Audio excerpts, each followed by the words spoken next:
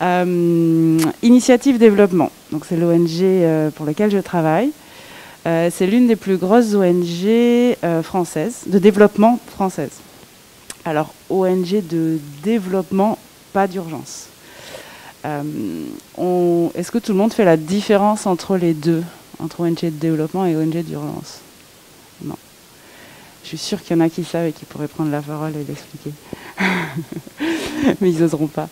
Euh, donc les ONG d'urgence, c'est quand il y a une situation d'urgence et euh, on va intervenir sur un territoire pour essayer de résoudre euh, cette situation d'urgence. Ça peut être des urgences climatiques, ça peut être des urgences sanitaires. Voilà, il y a plein de types d'urgences qui existent. Nous, on est une ONG de développement. Donc on, va agir sur du moyen long terme, donc sur des programmes où nous on va aller sur des terrains où, on va, où il y a une problématique, des solutions qu'on va mettre en œuvre sur plusieurs années. L'autre particularité d'initiative euh, euh, développement, euh, c'est qu'elle est pluridisciplinaire. On n'est pas une ONG dédiée à l'enfance, on n'est pas une ONG dédiée à la, à la médecine uniquement, à la santé, on n'est pas une ONG dédiée à l'architecture ou à l'alimentation. On est une ONG pluridisciplinaire. Pourquoi?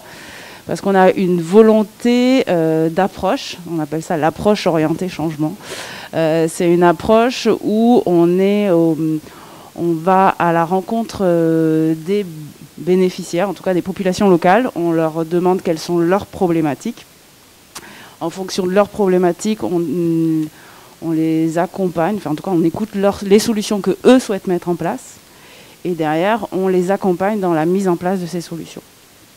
Et de ce fait, derrière, on se retrouve à réaliser du coup différents, et différents types de projets. Donc on va intervenir euh, sur les déchets, on va intervenir euh, sur la santé, sur l'enfance, sur euh, des projets autour de tout le climat et la biodiversité. On va intervenir sur euh, la citoyenneté auprès de collectivités territoriales. On a un, différent panel euh, d'intervention. Et ça, c'est assez atypique aussi pour de notre ONG. On intervient depuis euh, près de 30 ans dans les pays du Sud et donc principalement sur le continent africain et en Haïti.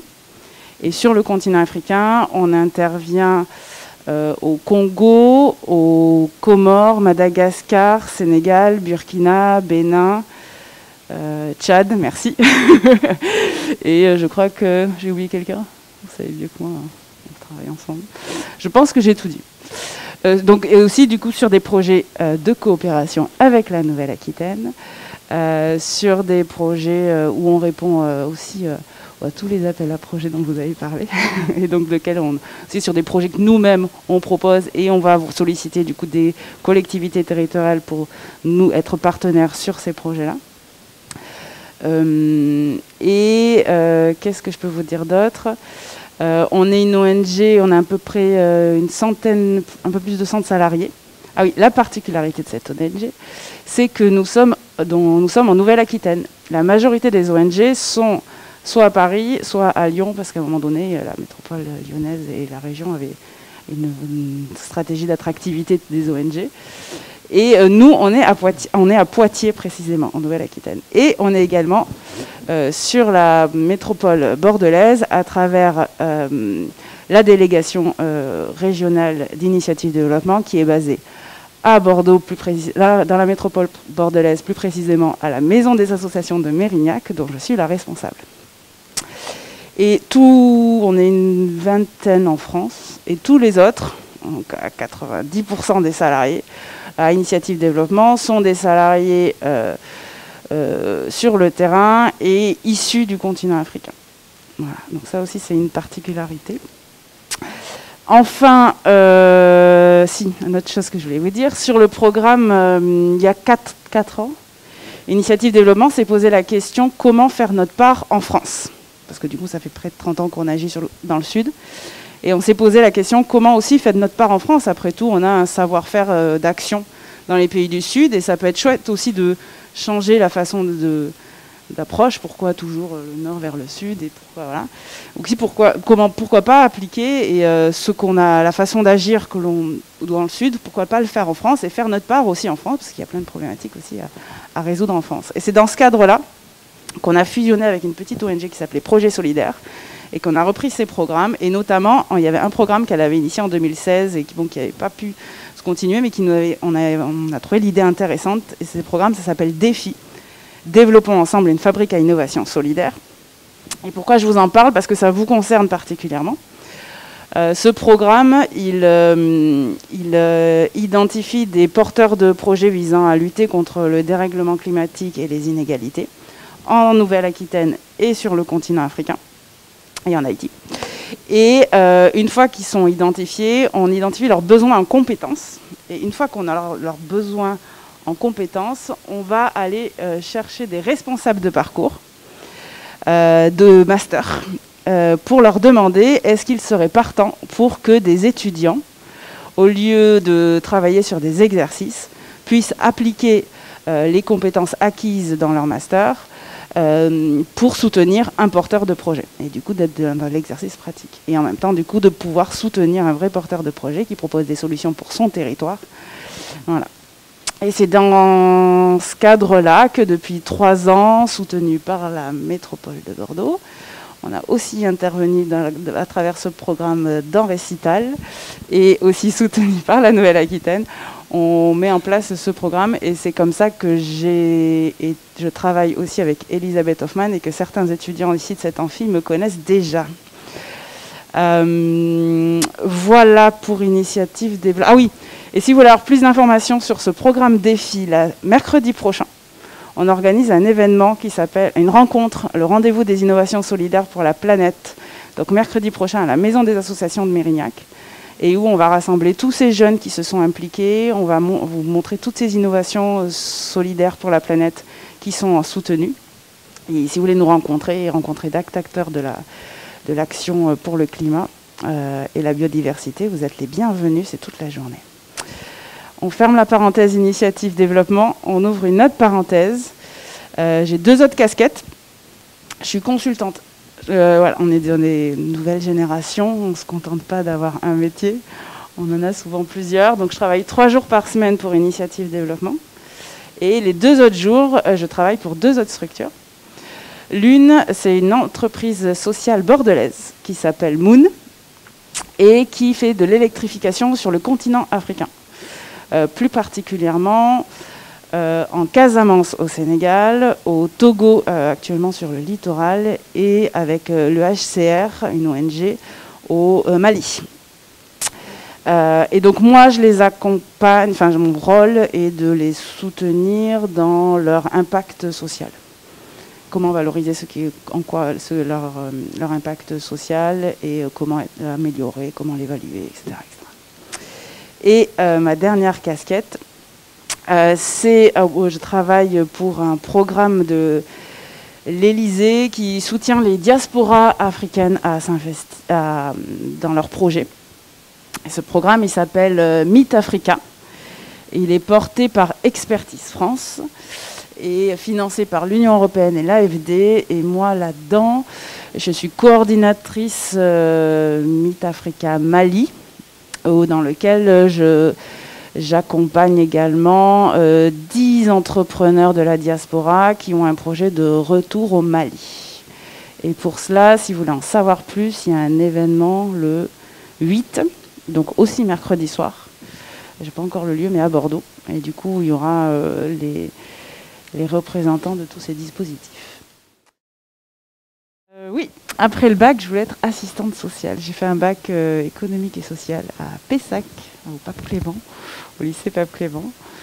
Et après, je voulais être assistante sociale. Donc, pour euh, être assistante sociale, j'ai passé les concours. Et la première année, ils disaient que je n'étais pas assez mature. Donc, bon, j'avais passé les écrits. Et c'est sur les euros, ils disaient que je n'étais pas assez mature. Donc, bon, je me dis, bon, je vais faire quoi en un an? Le temps d'attendre l'année d'après pour passer mon autre concours d'assistante sociale. Et puis je me suis dit, tiens, le droit, euh, j'avais, je, sais pas, je crois que j'avais imaginé qu'en tant qu'assistante sociale, il fallait faire du droit. Je ne sais pas d'où ça vient. Mais du coup, euh, voilà, je me suis mis en droit, là, juste à côté. Euh, Ola Magna, magnifique amphi. Euh, beaucoup trop grand. Et, et en fait, le jour de concours arrive, j'étais super prête. Et en fait, j'étais tellement prête que en fait, le concours, c'était la veille et j'ai loupé. Là, c'était la fin de ma vie, forcément. On a l'impression que tout s'effondrait. Et en fait, je me suis dit, qu'est-ce que je vais faire? Le droit, c'est pas du tout mon truc. Et je traînais dans les couloirs et j'ai vu un emploi du temps qui me paraissait un petit peu intéressant. Et là, c'est euh, administration économique et sociale. Donc, c'est, euh, donc là, je passais du droit à l'économie. Et en, en, fait, du premier semestre au deuxième semestre de la première année, on peut passer, euh, il y a une commission spéciale, machin chouette, et on peut passer d'un cursus à un autre. Donc euh, j'ai passé devant le jury et tout, et du coup j'ai réussi à passer en AES. Et là, il y avait, hum, à côté de ça, je faisais euh, de la danse du gumboots. C'est une danse en Afrique du Sud qui est dansée, qui on fait du rythme avec des bottes, mais on danse en même temps. Et avec cette association, c'était voilà, c'était pour le fun. Et avec cette association, ils organisaient, ils avaient des programmes euh, du interculturels euh, en Afrique du Sud et à Soweto. Et ils m'ont dit, bah, tiens Isabelle, euh, toi qui es très engagée dans plein d'associations, tout ça, viens avec nous, on part à Soweto en Afrique du Sud pour un programme interculturel pendant trois mois. J'avais 22 ans. Et j'ai pris ma claque. Parce que Soweto, c'était à l'époque, en plus, à l'époque, l'une des, c'était encore une des villes encore les plus dangereuses du monde. Je me retrouvais une blanche, euh, jeune femme là-dedans, qui avait une première pas sur le continent africain, et euh, hébergée par des Sud-Africains, enfin des Souhaits, des de Soweto. Euh, et donc voilà, donc j'ai un peu compris ce que, enfin non, j'ai pris ma claque et j'ai capté ce que pouvait être vaguement la Rainbow Nation de Mandela. Et du coup, je me suis dit, ah, il y a des trucs qui se passent quand même dans le monde. Et euh, en parallèle, euh, je me suis pris une licence euh, avec une option économie du développement parce que le prof était vachement sympa et que j'aimais bien cette matière-là. Et finalement, en revenant, parce que là, j'ai toujours travaillé aussi, j'ai toujours fait des petits boulots de tous les étudiants font à côté depuis l'âge de 16 ans.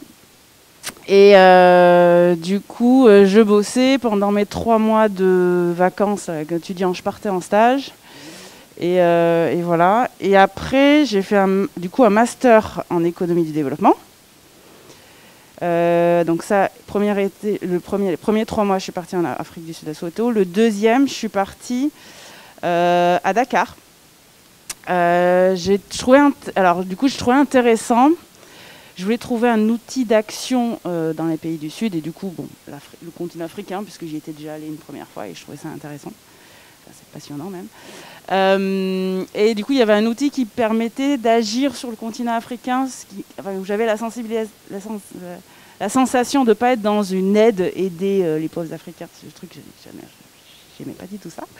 Et du coup, l'époque, c'était l'explosion d'un outil d'action qui s'appelait la microfinance, enfin qui s'appelle encore la microfinance, et qui était en train d'exploser, notamment en Afrique de l'Ouest, au Sénégal.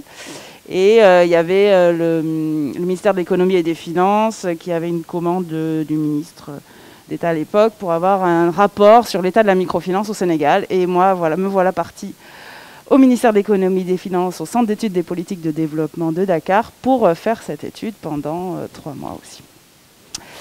Euh, entre-temps, je suis rentrée, j'étais en train de mettre des cartables dans les rayons de Cultura.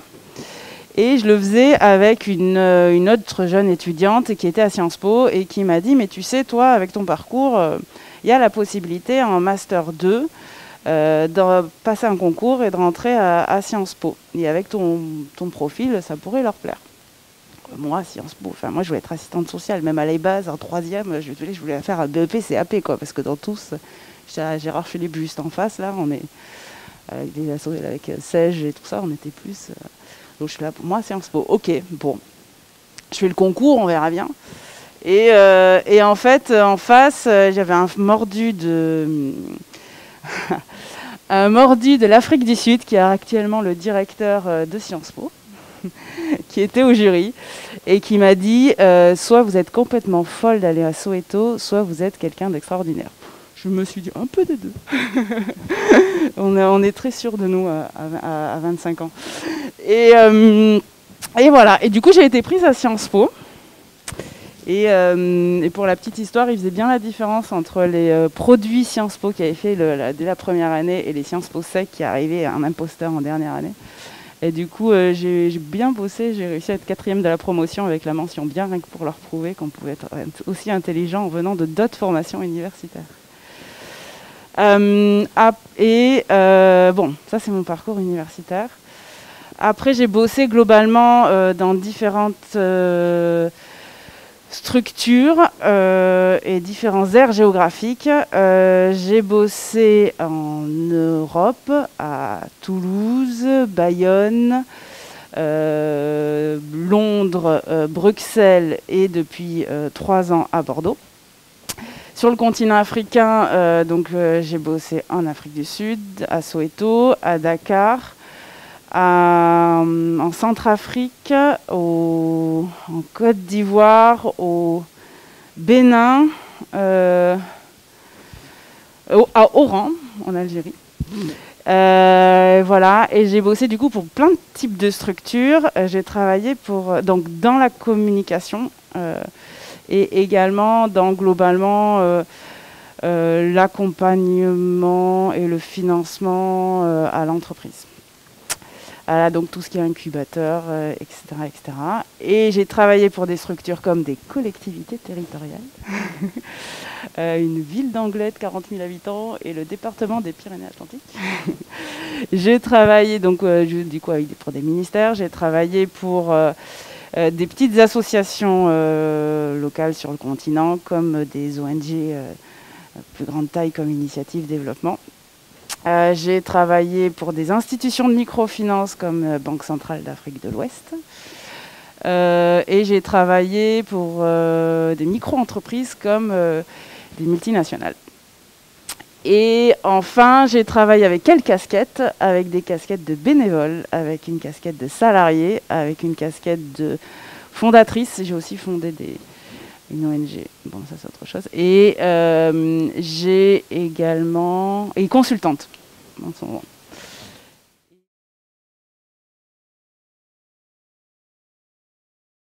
On peut avoir déjà commencé par une expérience associative autour de, chez soi, en fait, tout simplement. Et c'est un début, en fait. Commencer à, rencontrer différents types de publics au quotidien, essayer de se sortir de son, de son, aller voir des personnes plus âgées, travailler auprès de personnes plus âgées ou d'une catégorie sociale euh, d'une CSP différente ou d'un tout ça, ça contribue en fait à, ouvrir, euh, à s'ouvrir et à être prêt le moment où petit à petit dans sa carrière, on, pourra partir dans d'autres euh, territoires où on ne connaît pas du tout la culture, où on ne connaît pas du tout les us et coutumes et on pourra travailler avec ce type de personnes. Mais pour, pour revenir euh, quoi, juste avant de, venir ici, j'ai fait le point avec euh, la, DRH d'Initiative Développement, qui euh, fait ce métier-là depuis 20 ans à Initiative Développement. Et je lui ai demandé, ben toi, comment... C'est un peu une pierre angulaire chez nous, c'est elle qui est la garante de l'esprit d'Initiative Développement, et c'est quelqu'un qui m'a fait passer un entretien d'embauche inoubliable. Donc j'étais très heureuse de pouvoir partager euh, ça avec elle pour pouvoir vous le partager. Et je lui ai demandé euh, aujourd'hui, euh, par rapport à l'évolution, par rapport à ce qu'elle, au profil qu'elle recherchait. Et elle, m'a dit qu'il y a clairement, il y, a, il y, a, 20 ans, on cherchait beaucoup plus d'ingénieurs, genre ingénieurs. Il fallait être bon en agronomie, il fallait être bon en, en assainissement, il fallait être bon voilà, sur des choses comme ça. Et aujourd'hui, euh, les compétences sont sur le terrain en fait. Et il y a moins besoin d'apporter ça et elles cherchent plus des euh, profils euh, de chargés de projet, de, gestion de, gestionnaires de projet. Et comment on va accompagner et la personne que initiative, enfin qu'une ONG en tout cas va embaucher, elle va être là pour soutenir les acteurs locaux et les, accompagner. Et du coup, son métier, ça va être veiller à ce que le programme est fait dans temps et en heure, que les euh, rapports soient rendus en temps et en heure aux bailleurs, en disant ben, le programme se passe comme ça, et avoir tout un travail de reporting. Et sur place avec les équipes, euh, veiller que les différents partenaires du projet, euh, ben, qu'il y ait une coordination ensemble, que la personne qui devait agir sur les six premiers mois fasse bien sa mission sur les six prochains. Et du coup, et coordonner aussi les différents types d'acteurs qui sont sur le territoire. Et du coup, sur les profils euh, de personnes qu'on embauche, c'est vraiment des, euh, des, profils euh, voilà, qui, sont, qui sont plus des profils de, gestionnaires de projet en fait. Hein. Et alors je reprends mes notes parce que je veux bien sûr bien tout dire parce qu'elle a dit des choses super intéressantes. Ah oui, sur les profils, c'est des gens qui ont à la fois souvent de plus en plus des expériences en Europe et dans les pays du Sud. Donc si euh, vous avez envie, il y avait un, continent qui vous plaît en particulier, tout ça, il faut, vraiment aller sur le terrain et euh, faire des expériences sur le terrain, c'est important. On, a, on, veut avoir des profils de personnes qui ont fait des expériences euh, en Europe et, et, dans les territoires du Sud qui pourraient vous... Ou, enfin, nous c'est Sud parce que c'est une ONG, mais c'est l'international finalement la thématique. Donc ça peut être... Voilà, mais en tout cas de l'ailleurs.